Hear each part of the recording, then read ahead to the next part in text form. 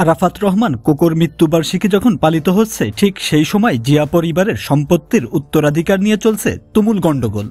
বিশেষ করে প্রয়াত আরাফাত রহমান কোকোর সব সম্পত্তি আত্মসাৎ করেছেন লন্ডনে পালাতক বিএনপির ভারপ্রাপ্ত চেয়ারম্যান তারেক জিয়া। এ অভিযোগ সিথি তার আইনজীবীর মাধ্যমে একটি আইনগত নোটিশ পাঠিয়েছে তারেক জিয়ার কাছে। এর আগে সিথি ঢাকায় এসেছিলেন। বেগম খালেদা জিয়ার কাছে এ বিষয়টি নিয়ে কথা বলেছেন। কিন্তু খালেদা জিয়া সে সময় ছিলেন অসুস্থ। সে কারণে তিনি এ ব্যাপারে কোনো সুরাহা দিতে পারেননি।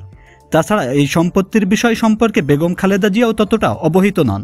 একাধিক সূত্র বলছে, বাংলাদেশ থেকে মালয়েশিয়া যান আরাফাত রহমান কোকো এবং মালয়েশিয়া তার বিপুল পরিমাণ অর্থ সম্পদ ছিল। দেশে বিভিন্ন দুর্নীতি এবং অনিয়মের মাধ্যমে যে সম্পদ করেছিলেন, তার একটি বড় অংশ প্রয়াত আরাফাত রহমান কোকো পাঠিয়েছিলেন মালয়েশিয়ায়। সেখানে মালয়েশিয়া বিএনপির সভাপতির মাধ্যমে তিনি বিভিন্ন ব্যবসায় সেই টাকা বিনিয়োগ করেছিলেন। মালয়েশিয়া ছাড়াও সিঙ্গাপুরে আরাফাত রহমান কোকর বেশ কিছু বিনিয়োগ ছিল। এ বিনিয়োগের পরিমাণ বাংলাদেশি টাকায় এক হাজার কোটি টাকার কাছাকাছি বলে জানা গেছে।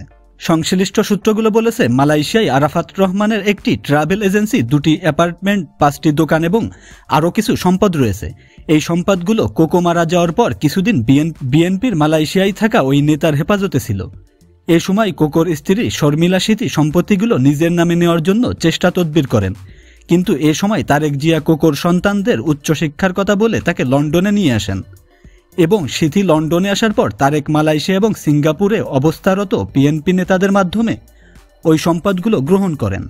এর বিনিময়ে মালয়েশিয়ায় অবস্থারত বিএনপির ওই নেতাকে দুই হাজার আঠারো নির্বাচনে মনোনয়নও দিয়েছিলেন তারেক। এরপর সিথি যখন সম্পত্তিগুলো অধিকার চান এবং সম্পত্তিগুলোর হাল হকিকত জানতে চান, তখন তারেক জিয়া বলেন, এগুলো সব বিক্রি করার প্রক্রিয়া চলছে। বিক্রি হলে সম্পত্তি বিক্রির টাকা সিথিকে বুঝিয়ে দেওয়া হবে এবং সিথি যেন বাকি জীবন সন্তানদের ভরপোষণ এই টাকা দিয়ে করতে পারেন, সেজন্য এ ব্যবস্থা করা হয়েছে। সিথি প্রথম এ বিষয়ে মেনে নিয়েছিলেন, কিন্তু বছরের পর বছর চলে গেলেও সিথিকে কোনো টাকা দেয়া হয়নি। বরং একটা পর্যায়ে তারেক সিথির জন্য যে ভরণ পোষণের খরচ দিতেন, সেই খরচও বন্ধ করে দেন। লন্ডনে পালাতক তারেক জিয়ার এই সিদ্ধান্তের পর বেগম খালেদা জিয়ার অনুরোধে দুই হাজার ষোলো সাল থেকে সিথির যাবতীয় ভরণ পোষণের ব্যবস্থা করেছেন সৌদি আরবে পালাতক মোসাদ্দেক আলী ফালু। ফালু কোকোর ব্যবসায়িক পার্টনার ছিলেন। সেই সূত্রে বিভিন্ন ব্যবসা থেকে যে লভ্যাংশ টাকা সিথিকে পাঠানো হয় এবং সেটি দিয়ে সিথি চলেন। জানা গেছে, সিথি এই বিষয়টি নিয়ে খুব শীঘ্রই আইনের আশ্রয় নেবেন এবং এই মালয়েশিয়া আদালতে তিনি আইনি লড়াইয়ের অবতীর্ণ হবেন। এজন্য একজন আইনজীবীরও সরাপন্ন হয়েছেন সিথি। এমন তথ্য নিশ্চিত হওয়া গেছে। তো বন্ধুরা, ভিডিওটি নিয়ে আপনাদের মন্তব্য কি? জানিয়ে দিন কমেন্ট বক্সে। আর আমাদের চ্যানেলে নতুন হলে সাবস্ক্রাইব করুন। ধন্যবাদ সবাইকে।